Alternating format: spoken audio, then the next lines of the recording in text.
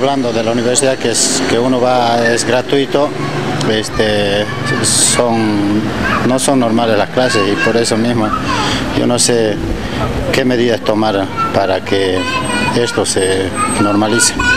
No hay forma de evitar los paros, bloqueos, porque parece que es la única medida para hacerse escuchar. No, porque esto parece que aparentemente este, son los mismos alumnos que llevan años y años tras años ahí, porque ellos son los mismos que hacen esos, paros. Y yo veo generalmente que alumnos que ya están más de 9, 8 años ahí en la universidad y yo a lo mejor también este, estaré mintiendo, pero así veo esa forma. Yo creo que eh, es la universidad es del pueblo, yo creo que el pueblo tiene que decir, porque ahorita eh, tienes una universidad que no está de acorde con la eh, con los momentos que vive el país, ni políticos, ni tecnológicos, ni judiciales, de ningún tipo. Entonces hay una decadencia en términos intelectuales ya en la universidad que raya ya en lo, en lo, crítico. Eh, la universidad necesita hacer una cirugía de fondo. Porque lastimosamente ahorita la, universidad este, encuentra la vanguardia, más bien está, está en la retaguardia, o sea, está en las entonces, eh, lastimosamente es una situación muy crítica. Yo la verdad no, no creo que está condenada a, morir esta universidad porque tanto docentes como estudiantes ya han adquirido una, nueva lógica aquí, ¿no?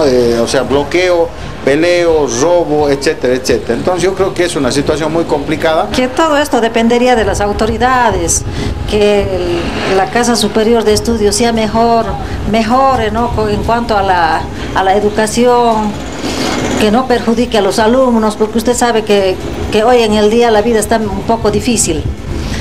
Entonces el padre de familia tiene que gastar cuánto de plata para que el hijo se vaya a educar y el hijo está en, paro, en huelgas. Entonces yo creo que mucho depende de las autoridades superiores, que esto tenga que funcionar hoy y mañana y siempre mejor. Y sencillamente expulsando a los alumnos que tienen procesos universitarios ya acumulados, porque siempre son los mismos los que hacen eso y no, no entiendo ¿Por qué se llaman estudiantes de base si los que toman la universidad son 100 personas y dan su excusa de que son, que son 22 mil alumnos los que los apoyan, sino que son 10 nada más los que toman la universidad? Eh, hay muchos docentes ya igual que están ahí tiempo de más también. Para mejorar la imagen yo creo que primero tendría que partir de la educación de los mismos universitarios como de los catedráticos.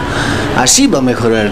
Vemos, año tras año vemos que con paros, con estaciones, nunca va a mejorar la educación en este país. Solamente deberían tratar de ver la parte académica más que todo y este, de esa manera dar una buena imagen en la institución.